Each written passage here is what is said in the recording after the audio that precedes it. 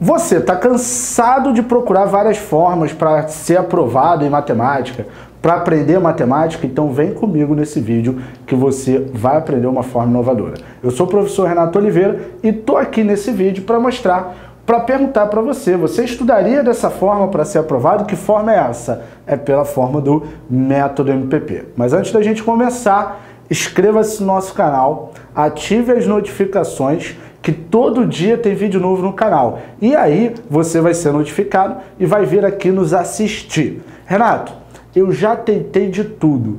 Não consigo aprender nada. Porque o método MPP vai servir logo para mim, que sou um zero à esquerda, que só tirei nota baixa a vida inteira. Galera, eu acredito que o método MPP serve não só para você, como para todos, por conta dos diversos e milhares casos de sucesso que nós recebemos diariamente, como é o caso aqui do nosso aluna, ó, aqui no YouTube, Hotmand, né?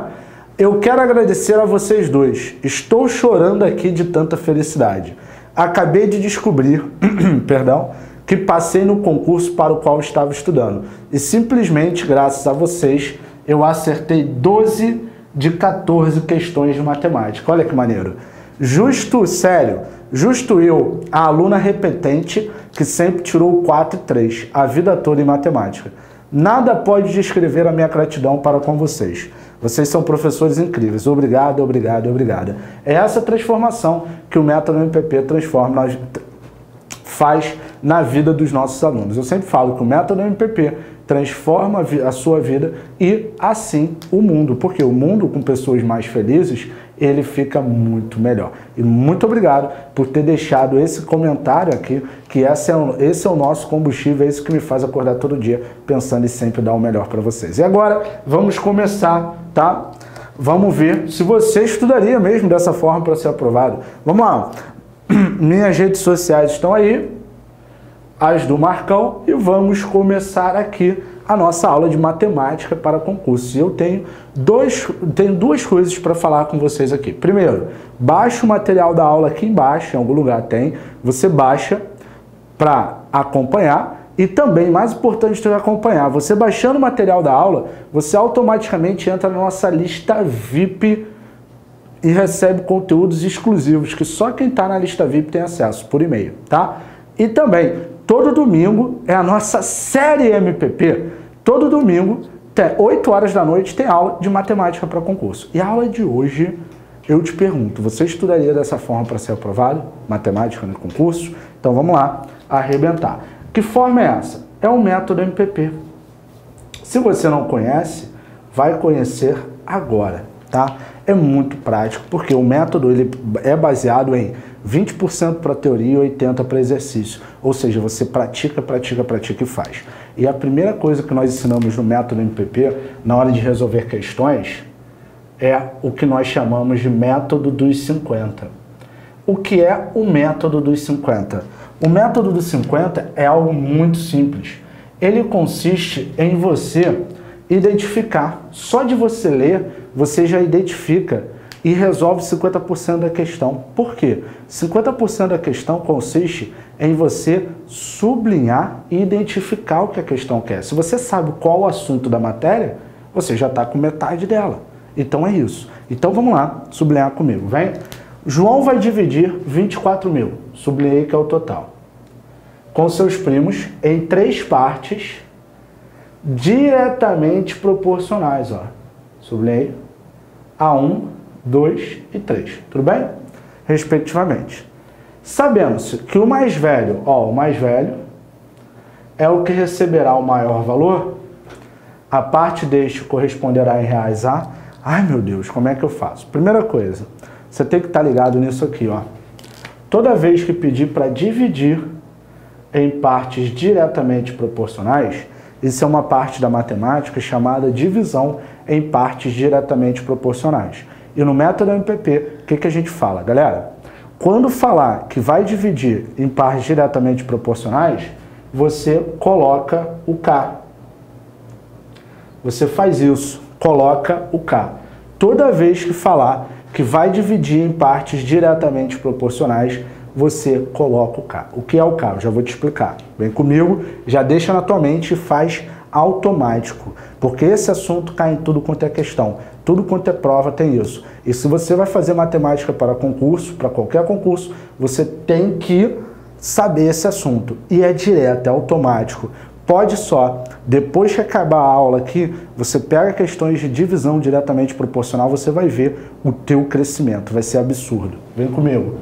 Qual é o total, galera? O total é 24 mil. Show de bola?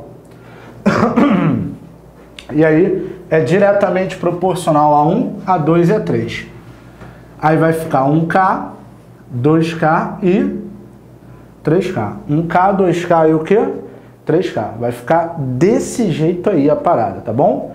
Desse jeito que vai ficar 1K, 2K e 3K. O que é o K, galera? O que ele diz que vai dividir proporcional, diretamente proporcional? Ele está falando que os números são múltiplos de 1, de 2 e de 3. Só que eu não sei quais são. Aí eu boto K para poder chegar lá, porque tem que ser o mesmo, né? O múltiplo, eu tenho que multiplicar todos eles pelo mesmo cara. E aí, quando eu somar, tem que dar 24 mil. Em termos práticos, falou para dividir diretamente proporcional, coloca o K. Vai resolver tudo. Pode pegar quando acabar. Porque eu sempre falo, assistir aula por assistir é melhor não assistir. Por quê? Você tem que assistir a aula e fazer o que eu vou falar aqui, ó. Pega isso e aplica, pega isso e aplica. Você vai ver a sua evolução. É assim que acontece, é assim que os resultados vêm, como a nossa aluna aqui, tá bom? Então vamos lá, ó. Simbora, vem comigo. E ele quer o maior valor. O maior valor é o 3K, tá? Como é que eu vou fazer isso daí? O total sempre é a soma de geral. Então, quando eu somar 1K, lembrando que 1K é K, tá? Mais 2K mais 3K, isso tem que dar 24 mil. Show de bola? Agora vem comigo. 1 mais 2, 3 mais 3, 6. 6K igual a 24 mil. K é 24 mil divididos por 6, que dá 4 mil. Pronto, esse é o valor do K. Show de bola? Esse é o valor do K, 4 mil. Agora eu quero o 3K. Então como é que vai ficar a brincadeira? 3 vezes 4 mil. 3 vezes 4 mil dá 12 mil. Tá aí a resposta. Qual é o meu gabarito? Letra A. Marco V da vitória, 12 mil. Show? Zero trauma. É assim que você faz, tá? Quando eu digo 3K, na real, é 3 vezes o valor do K. Então eu peguei 3 vezes 4 mil, 12 mil. Acabou. Renato, então quer dizer que toda questão que falar que vai dividir diretamente proporcional é só colocar o K. Isso mesmo. Segue. Você vai acertar muito. Beleza? Simbora lá para a próxima. O que, que diz a próxima aí? Outro assunto que cai em tudo quanto é prova. E o que eu vou te falar aqui, cara, se tu fizer tu vai acertar muito. Deixa eu ver se tem carga aqui de caneta. Tem que botar a carga na caneta vermelha. Deixa eu ver aqui, Arthur. Traz uma carga vermelha aí, por favor. Pedir aí a produção, né? Trazer uma carga vermelha e eu vou trocar aqui com vocês. Né? Aqui não tem essa não. Podia mandar parar para cortar. Eu vou trocar aqui ao vivo com vocês, ó. Ao vivo. Quem sabe faz ao vivo, irmão. Vamos lá. Cadê a tua vermelha? Vai devagar, hein, cara. Tem aqui, cara. Tem não, a preta? Ali a vermelha, ali. Ah. Aí a vermelha. Bora. Valeu. Trocar aqui ao vivo, ó. Trocando a tinta da caneta. Simbora. Vamos lá, que aqui é de verdade, meu irmão. Se fosse numa ação, numa aula presencial, você não estaria assim? Então, teria essa troca? Depois jogo fora ali. Vamos lá. Então vamos lá. Seguindo, método dos 50, vai ficar a aula inteira ali. Não vou tirar, tá bom?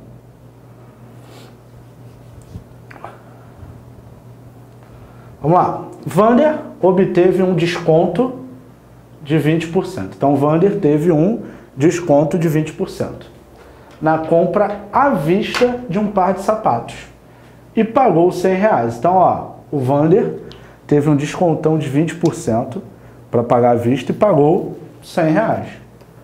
O preço anunciado sem o desconto foi de, galera, essa questão é de quê? De porcentagem. Como é que eu sei que o problema é de porcentagem? Tá aqui, ó, porcentagem. E aí é muito normal a galera fazer o quê? Caraca, muito ridículo essa questão. Desconto de 20%. Ah, 100 menos 20%, 100 menos 20, 80. É, 100, 20%, faz assim, ó, 20% de 100 é 20. Se eu somar 100 dá 120, marca a letra C e fala, pô, ridícula a questão. Errou. Galera, pega a visão para não errar mais. O que eu vou te ensinar aqui, você vai usar nas questões que falam que foi com desconto e nas questões que falam que foi com aumento. Tá? O que eu vou te ensinar você vai usar. A diferença é que desconto diminui e aumenta aumenta. É isso. Mas pega para tu não errar mais. Vem comigo. Ó, ele teve um desconto de 20 pagando 100, ou seja, 100 reais é o valor com desconto. Então você monta, é simples. Você monta esse esquema com desconto e sem desconto. Você monta esse esquema aqui. Você vai montar esse esquema com desconto e sem desconto.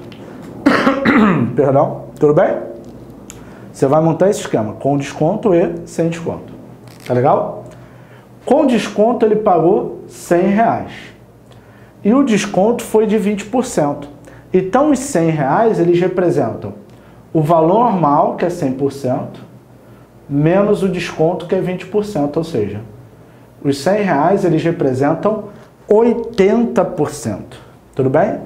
Os 100 reais eles representam 80%. E o sem desconto vai ser X, que é 100%. Morreu. Renato, eu não entendi, então vem de novo. 100 reais é o valor com desconto. Então 100 reais é 100% menos 20, que dá 80%. E o X é 100%. Morreu. E agora, simbora, multiplica cruzado, corta um zero. Sempre que tiver um zero em cima e embaixo, pode cortar, tá bom? Ah, se eu não cortar, vai na mesma coisa. 8 vezes x é 8x, 100 vezes 10 dá 1000. Daí x é 1000 divididos por 8. Tudo bem? E aí já vai vir a resposta. Bota uma coisa na tua mente. Na hora de dividir para encontrar a resposta, olhe sempre para a resposta. 1000 dividido por 8. Primeiro número em todas é 1. Então ali não tem problema. Sobram 2. 20. Aqui é 2. Opa, agora a brincadeira vai ficando melhor. Letra A, letra B e letra E está fora. 2 vezes 8 é 16, resta 4. A letra C é 120. A letra D é 125. Não pode ser 120, porque para ser 120 teria que ter dado zero ali. Então só pode ser quanto? 125. Não precisa nem continuar a conta. Qual é o gabarito? Letra D. Marca aí. O V da vitória morreu. Essa é a resposta. Show? Tranquilo, tranquilo? Maravilha? Então dá o teu pause, copia, simbora. Vamos lá?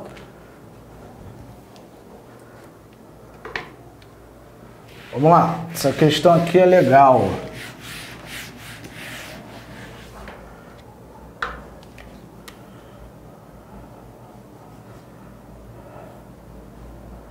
Vamos lá.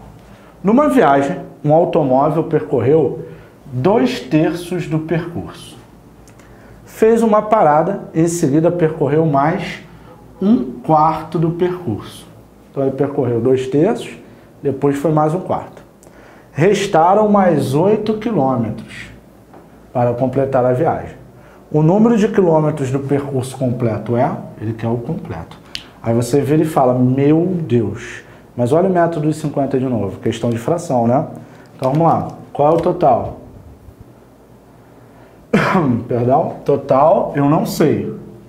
Mas eu sei que primeiro ele percorreu dois terços. Depois ele percorreu um quarto. E por restaram ainda 8 quilômetros para ele. Restaram 8 quilômetros para ele. Ele quer o total. E você, meu Deus, como é que eu vou fazer? Galera, tem um vídeo que eu ensino como você aprender frações em quatro passos. Eu botei aqui na descrição, depois você vê. Tá? Mas olha só, o que você precisa saber aqui? Você precisa saber disso daqui, ó. Vem comigo. Primeira coisa, você precisa encontrar qual é a fração que falta. Por quê? O primeiro fez dois terços, o segundo fez um quarto e o terceiro ficou com o que restou 8 quilômetros, ou seja, a fração que falta vai ser igual a 8. E como eu faço para achar? Primeiro, eu vou somar esses dois, 2 terços mais um quarto. Primeiro eu vou somar esses dois, tá? Vou somar esses dois. 2 terços mais um quarto. Você sempre soma. Acha o quanto o primeiro e o segundo já fizeram, que aí a fração que falta vai ser do terceiro, tá? E aí, como é que é a parada, galera? Você pode usar o MMC, mas no método MPP, o que, que a gente ensina? Ó, você multiplica embaixo, né? É para somar a fração, subtrair fração, como é que é no método MPP? Multiplica e cruza. 3 vezes 4 dá quanto? 12. E multiplica cruzado. Perdão? 4 vezes 2, 8. 3 vezes 1, 3. Então aqui dá 11, 12. Então o primeiro e o segundo juntos, eles fizeram 11 12 avos. O primeiro e o segundo juntos, eles fizeram 11 12 avos. Sem problema, né? Perdão? O primeiro e o segundo juntos, eles fizeram 11 12 avos. Tudo bem? Caramba, Renato, isso dá certo sempre, só toda vez. É um multiplica e cruza. Acabou, não precisa do MMC. Ah, mas eu gosto do MMC. Tudo bem, sai com o MMC, a gente continua amigo. Ah, eu não gosto do MMC. Faz assim. Tá, tá legal? Tranquilo? 11, 12. Agora, pessoal, a fração que falta vai ser igual a 8 quilômetros, né? Tá legal? Nessa questão, tem três passos dos quatro para aprender, tá? Primeiro é somar, segundo achar a fração que falta. Galera, só você pensar, se aqui é 11 de 12 avos, quanto falta? 1 de 12 avos, é igual a 8. Não entendi. Galera, só você pensar, 11 para chegar a 12 falta 1. Por que 11 para chegar a 12, Renato? Porque o inteiro é 12, são 12 partes. Aqui tem 11 partes. Para chegar no 12, que é o inteiro, falta uma de 12 é igual a 8. E aí, se liga, o que, que a gente ensina? Quando tem o igual aqui, você divide pelo de cima e multiplica pelo de baixo. Não entendi. Calma, eu vou te explicar. Olha para cá. Toda questão de fração que tem o igual, você divide pelo de cima e multiplica pelo de baixo, que já acha o total. Não tem mistério. Divide pelo de cima, multiplica pelo de baixo, que já acha o total. 8 dividido por 1 é 8, vezes 12 dá 96. Está aí. Qual é o meu gabarito? Letra A. Marco V da vitória. Morreu. Show? Então não erre mais isso, hein? Não erre mais isso daí. Show de bola? 8 vezes 12, 96. Então, primeiro você soma, acha a fração que falta, depois faz igual. Show? Tranquilo? Dá o teu pause, copia. Simbora lá. Fazer a próxima. Ai, meu Deus, vem essas figuras. Ai, Jesus, calma, calma. Vamos lá, zero trauma. A figura abaixo sugere a planta do terreno de um quartel. De acordo com a figura, conclui-se que a área do terreno é ele quer a área do terreno. Questão de área cai. A área que você tem que saber para prova de matemática concurso é a área do triângulo, do retângulo, trapézio, mas é mais triângulo, retângulo e quadrado. Nesse caso, não é um triângulo, não é um retângulo. Então, o que, que você faz malandramente? Eu faço assim, ó. Eu prolongo aqui, que assim eu fico com dois retângulos. Pegou a visão? Você pode prolongar de outras formas? Pode. Eu que sempre prefiro prolongar assim, tá bom? E aqui eu tenho a área 1 e aqui eu tenho a área 2. Então, a área total é igual à área 1 mais a área 2. A área total é área 1 mais a área 2. Pô, a área 2 já dá para achar, porque aqui a base é 30, né? E a altura é 10. Eu preciso da área 1 porque a área do retângulo é base vezes altura. A altura aqui vale 20, eu preciso desse pedaço aqui, né? Pô, Renato, mas como é que eu vou saber quanto vale esse pedaço? Simples. Tudo aqui vale 45, né? 30 mais 15. Como esse pedacinho vale 5, aqui vai valer 40, que é o 45 menos o 5 dali, né? Tudo bem? Agora é só partir para o abraço. Vamos lá? A área 1 a área 1 é base vezes altura. 40 vezes 20, que dá 800. Área 2 é base vezes altura. 30 vezes 10, que dá 300, correto? Agora, ele quer a área total, morreu, viu? Tranquilinho, zero trauma. A área total vai ser 800 mais 300, que dá 1.100. Qual é o meu gabarito? Letra C, marca aí o V da vitória, letra C. Zero trauma, né? Então, viu? Sempre divida. Aprendeu? Aprendeu desse jeito? Então, perfeito. Pode aplicar que tu vai acertar. Você precisa dessas áreas. Show? Simbora lá para a próxima. próxima questão. O que, é que ela diz pra gente? Vem cá. Olha que linda essa questão. Epa, caiu no chão. Opa, sai. Caiu no chão aqui. Vamos lá. Olha para cá. O que, que diz essa questão, meu povo lindo? Eita, tá bravo pra mim, né? Perdão aí, gente. Vocês estão me vendo tossir muito.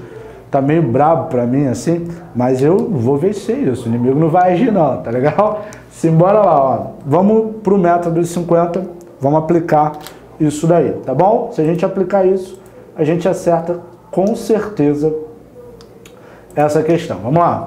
Um auto, uma placa de automóvel é composta por três letras e quatro algarismos. Nessa ordem. Então, ela tem três letras e quatro algarismos.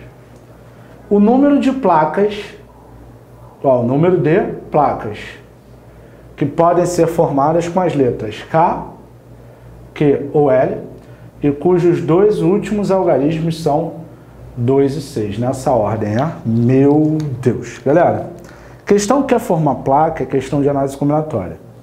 E é uma questão de problema de contagem, porque a galera, tem, quem está estudando, se você não está estudando, escuta o que eu estou te falando e anota, tá? E até se você está estudando, escuta o que eu estou te falando e anota, porque tu vai ganhar tempo. Agora, a galera que está estudando, provavelmente já viu aquela parte de arranjo, combinação. No método MPP, lá no nosso módulo completo de matemática, nós não ensinamos isso. Primeiro que nós ensinamos análise combinatória toda sem fórmula. Eu até te mostro a fórmula, porque uma questão ou outra, que é só fórmula ali, a gente mostra. Até a fórmula a gente mostra diferente. Mas enfim, isso é papo lá do módulo. Enfim, olha só. Você que tem essa questão de placa já vai direto. Não fica perdendo tempo. Ah, é combinação, não é? Vai direto. O que, que eu digo vai direto? Ó, você tem placas. Você tem três letras e quatro algarismos. Aqui é a letra, aqui é letra, aqui é a letra. Aqui é algarismo, aqui é algarismo. Só que ele falou que os dois últimos são 2 e 6 nessa ordem. Então, a placa termina em 2 e 6. Aqui entram os algarismos. Tudo bem até aí? Tranquilo? Agora, as letras que são usadas são K, Q e L. São essas letras. Você vai sempre, essas questões, formar placa, análise combinatória, você vai sempre separando as restrições. As letras são K, Q e L. Tudo bem até aí? Zero trauma? Tranquilo para você? Ficou claro? Faz sentido? Mas vamos lá, letra, letra, letra. Então, olha só. Quantas chances eu tenho para essa primeira letra? Para a primeira letra eu tenho, perdão, três chances. Ele falou que as letras são diferentes, ó, o número de placas formadas com as letras K, Q ou L os dois algarismos. Ele não falou nada. É importante você ficar atento a isso, porque provavelmente você ia botar dois aqui e depois um aqui. Isso está errado. Por que isso está errado? Porque em nenhum momento na restrição ele falou que as letras são, tantas letras quanto os algarismos são diferentes. Então, a primeira letra pode ser K, Q ou L. A segunda letra também pode ser K, Q ou L, tem três chances. A terceira letra também pode ser K, Q ou L. Tem três chances também. Tá legal? Agora, os algarismos são 10 que existem. Então, quantas chances eu tenho para o primeiro? 10. E para o segundo? 10 também. Por quê? Pode ser de 0 a 9. Isso eu nem escrevi aqui, sabe por quê? Porque for para te mostrar que isso tem que estar tá na sua mente. Na sua mente tem que estar tá aqui. Os algarismos que existem vão de 0 a 9. São 10. Então, quantas chances eu tenho aqui? 10 e 10. Aqui eu só vou ter uma, aqui eu só vou ter uma.